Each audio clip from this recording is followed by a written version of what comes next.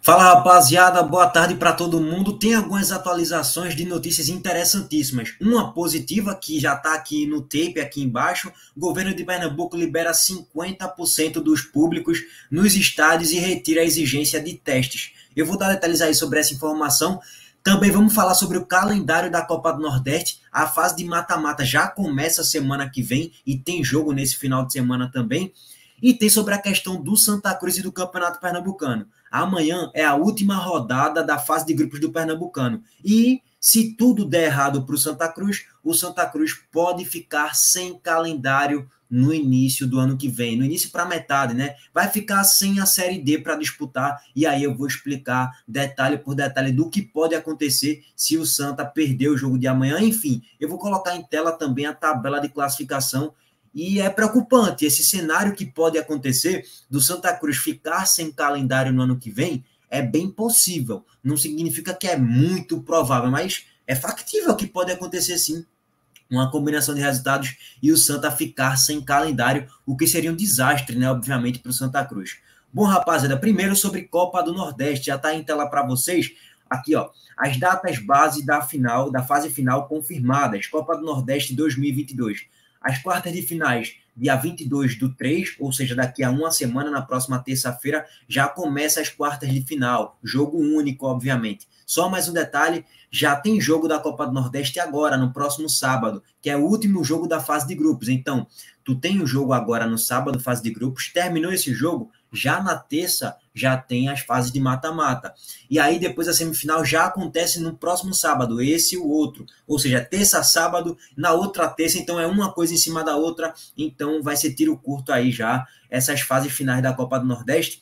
Já está na reta final de fato. E só um detalhe, é, a, a questão do sorteio tá válido ainda, viu? Tá óbvio que tá válido. Se o esporte chegar na semifinal da Copa do Nordeste, vai ter sorteio de camisa, sim. Agora depende do próprio esporte, né? Se não chegar, aí paciência, rapaziada. Bom, dito isso, data colocada aí a tabela para vocês, né? A, a, data aí da, da semifinal da Copa do Nordeste, quartas e final também.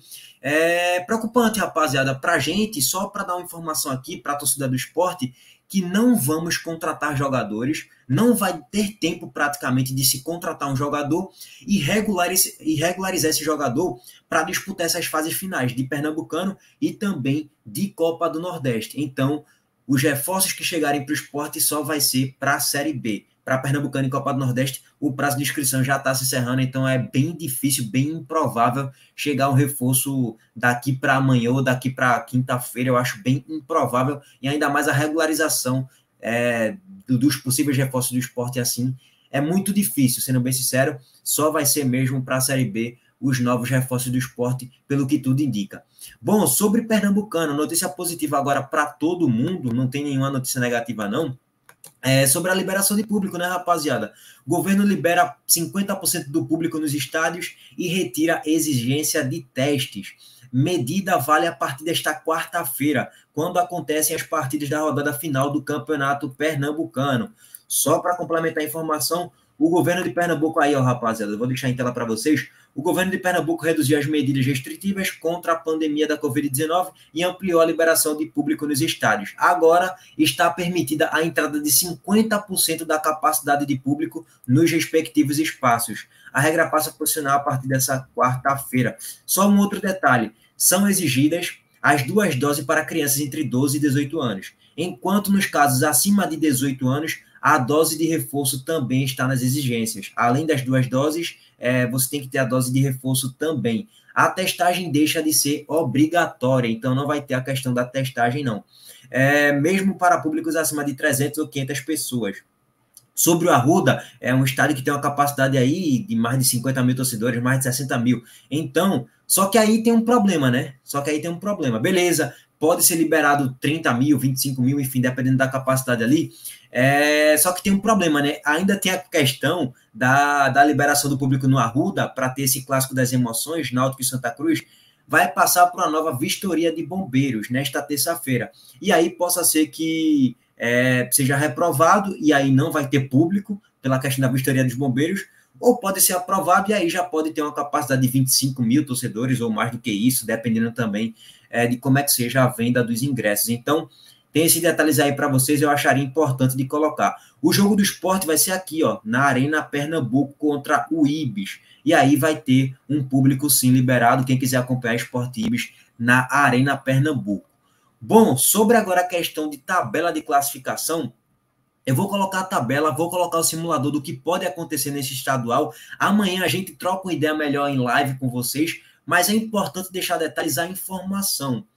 Pelo regulamento do estadual, as duas vagas destinadas a Pernambuco para a Série D são distribuídas logo na primeira fase e ficarão com as duas equipes que somarem o maior número de pontos, excluindo-se as que estiverem participando de divisões superiores, no caso de Esporte Náutico. Além de ter sido ultrapassado pelo Retrô, que tem um jogo a menos, isso aqui foi uma matéria que faz duas semanas. Os tricolores ainda podem ser superados pelo Salgueiro, com duas partidas a menos ao término da primeira fase. Isso foi atualizado e sim, o Salgueiro ainda pode ultrapassar o Santa Cruz. Aí ele fala aí da pontuação e tal. E se o Salgueiro terminar em segundo colocado, o Santa Cruz pode ficar sem calendário para o ano que vem. E aí eu vou colocar em tela aqui para vocês mais embaixo o que tem que ser dito aqui também para complementar a informação. E se terminar essas etapas atrás de Retro e Salgueiro, o Santa só teria o calendário para o segundo semestre de 2023, sem depender, sem depender dos rivais, caso consiga o acesso à Série C, já nessa temporada. Já a vaga para a Série D poderia ser obtida por desistência, ou caso Retrô, ou, ou o Salgueiro, no caso, eles erraram aqui, ou o Retrô ou o Salgueiro consigam a classificação para a terceirona nesse ano. Aliás, Retrô Afogados, é isso mesmo, está correta a informação. Retrô Afogados conseguiu a classificação para a terceirona nesse ano. Então tem todo esse dilema. E agora eu vou compartilhar com vocês o simulador do Campeonato Pernambucano em uma combinação que poderia ser trágica para o Santa Cruz, inicialmente, obviamente, né? Eu não vou simular tudo, não. Uma simulação positiva para o Santa Cruz seria vencer. E por que eu, por que eu coloquei isso? É, só corrigindo algumas coisas que eu disse aí é, no início da semana, no final de semana, que o duelo seria entre Salgueiro e Esporte, pode ser Esporte e Náutico. Olha o que pode acontecer. O Salgueiro pega o retrô. Se eu fosse, eu vou falar um pouco mais do porquê seria interessante o, Sal, o retrô entregar o jogo para o Salgueiro. Isso eu vou trocar ideia em live para o vídeo não ficar tão longo, mas depois eu explico isso aí. Bom, o Salgueiro, para mim, tem tudo para vencer do Retro, de 1 a 0 Vamos colocar 1 a 0 aqui só para um placar simbólico. O esporte tende a vencer do Ibis, beleza. E aí, vamos supor, tudo vai ser decidido no clássico das emoções, Santa Cruz e Náutico. Se o Santa Cruz vencer, beleza, Santa Cruz tem um calendário garantido, chegando na segunda posição, 19 pontos, massa. Se isso acontecer, o que é bem factível, Salgueiro vencer, o esporte vencer, o Santa Cruz vencer, o que pode acontecer, é, teria já nas quartas de finais esporte náutico e o náutico com mando de campo. Então, poderia haver essa combinação aí de resultados. Se houver um empate aqui, por exemplo, de um a um, é, o Náutico ficaria na segunda colocação, é, o Salgueiro ficaria na terceira e poderia é, ter um clássico já das, das multidões Esporte Santa Cruz aí, óbvio, né? Com essa combinação, Salgueiro Esporte ganhando e tendo empate aqui no clássico das emoções. É, qual é a outra combinação que pode acontecer? O Náutico vencer. E aí o Náutico vencer é, continua basicamente na mesma coisa, né? O Santa Cruz fica aqui embaixo, na quarta colocação, se rebaixa aí. Então, assim, se o Santa perder, ele vai ter que dar uma secada aqui para o Salgueiro não vencer seu jogo. Para o Salgueiro não vencer seu jogo, e aí pelo menos o Santa Cruz ficar aqui na terceira colocação, enfim.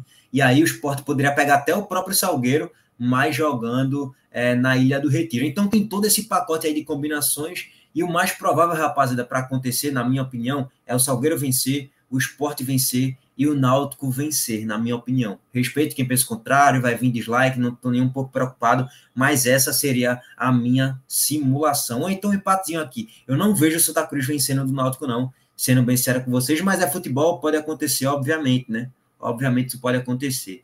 Enfim, ainda tem a questão de saldo de gols, né? O Salgueiro se ganhasse aqui de um 2 a 0 poderia ultrapassar aqui o, o Náutico, enfim. Tem todo o contexto, rapaziada. A gente troca ideia melhor sobre isso na live do pré-jogo aí, inicial de campeonato. Inicial não, né? Na live pré-jogo final, de reta final de quadrangular é, de acesso, é, de acesso não, de mata-mata de, de Pernambucano. Enfim, a gente traz aí uma informação é, mais bem detalhada, faz todas as simulações aqui é, do que pode acontecer aí é, nessa primeira fase de Pernambucano, beleza? É isso, o vídeo até ficou longo. Deixa o like, tamo junto. Valeu.